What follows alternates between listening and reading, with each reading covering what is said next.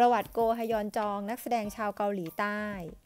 โกฮยอนจองเกิดเมื่อวันที่ 2 มีนาคมคริสตศักราช 1971 หรือตรงกับพุทธศักราช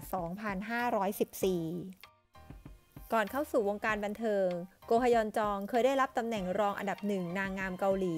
เมื่อปีคริสตศักราช 1989เธอเป็นคนสวยและมีส่วนสูงถึง 172 เซนติเมตร หลังจากคว้าตำแหน่งรองชนะเลิศการประกวดเวทีนางงามมิสโคเรีย เธอก็เริ่มเข้าสู่วงการบันเทิง และเริ่มมีผลงานซีรีส์เรื่องแรกในปี 1990 นั่นก็คือเรื่อง Love on a j u j u b Tree หลังจากนั้นก็มีผลงานมาอย่างต่อเนื่อง ในปี 1991 เรื่อง Eyes of Doll ปี 1992 เรื่อง A Love Without Fear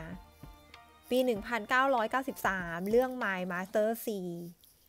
ปี 1994 เรื่อง Farewell ปี 1995 เรื่อง Sandglass เรื่องนี้ถือเป็นซีรีส์แจ้งเกิดของเธอเลยทีเดียวค่ะ และในปี 2005 ก็มีผลงานซีรีส์เรื่อง Spring Days ปี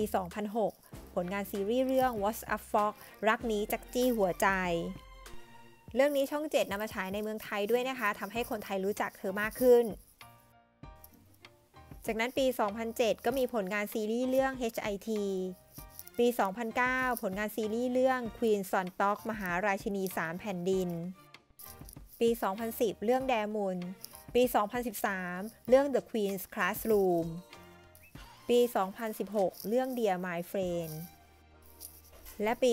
2021 ซีรีส์เรื่อง Reflection of You เรื่องนี้ฉายใน Netflix ด้วยนะคะ น่าติดตามมากค่ะ นอกจากผลงานซีรีส์แล้ว เธอก็ยังมีผลงานภาพยนตร์ โดยภาพยนตร์เรื่องแรกนั้นก็คือเรื่อง Movement on the Beat ในปี 2006และในปี 2009 ก็มีภาพยนตร์เรื่อง Like You Know It's On และเรื่อง Express และเธอยังได้รับรางวัลจากการแสดงอีกหลายรางวัลเลยนะคะ ด้านชีวิตคู่เธอเคยแต่งงานกับนักธุรกิจหนุ่มจงยงจิน ซึ่งเป็นหลานชายของคุณลีคุณฮี ประธานบริหารบริษัทซัมซุงกรุ๊ปแต่หลังจากนั้นทั้งคู่ก็ได้หย่าร้างกัน โดยมีลูกสองคนเป็นผู้ชายหนึ่งคนและก็หญิงหนึ่งคนโกฮยอนจองแม้ปัจจุบันจะมีอายุมากแล้ว แต่เธอก็ยังสวยแล้วก็ดูแลผิวพรรณเป็นอย่างดี เธอยังเคยเขียนหนังสือเกี่ยวกับเคล็ดลับความงาม เพื่อบอกเล่าประสบการณ์การดูแลผิวของตัวเองด้วยค่ะ นั่นก็คือเรื่องราวของโกฮยอนจอง ฝากติดตามผลงานของเธอทุกๆ เรื่องด้วยนะคะ สวัสดีค่ะ